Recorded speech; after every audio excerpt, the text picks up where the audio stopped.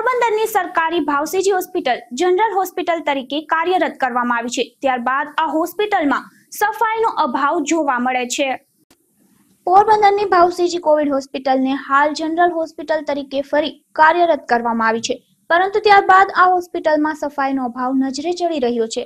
હોસ્પિટલના મુખ્ય દરવાજા નજીક અને વોર્ડની બહાર ગંદકી જોવા મળી રહી છે. આ પ્રકારની ગંદકીને કારણે હોસ્પિટલમાં મચ્છરોનો ઉપદ્રવ વધી રહ્યો છે, જેના પરિણામે હોસ્પિટલમાં સારવાર લઈ રહેલા દર્દીઓ અને તેમના પરિવારજનોની મુશ્કેલી વધી છે.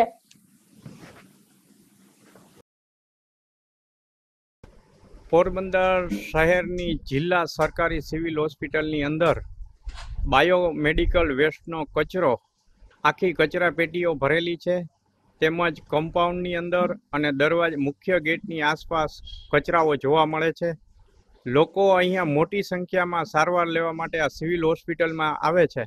પરંતુ ખાટલે મોટી ખોટ છે સફાઈની અને સફાઈ પાછળ તંત્ર દ્વારા માણસો પણ રાખવામાં આવેલા છે. પરંતુ આની યોગ્ય સફાઈ ન થવાના કારણે ચારે બાજુ કચરો ઉડે છે. પ્લાસ્ટિક અને ગંદો બાયોમેડિકલ વેસ્ટનો કચરો રોગી આરોગ્ય કલ્ય- કલ્યાણ સમિતિના અધ્યક્ષ જિલ્લા કલેક્ટર સાહેબે આ બાબત તાત્કાલિક સિવિલ સર્જનને સૂચનાઓ આપી અને આ કચરાનો કાયમી ધોરણે યોગ્ય નિકાલ થાય અને દવાખાનાની અંદર પૂરતી સાફ સફાઈ થાય એ ખૂબ જ જરૂરી છે.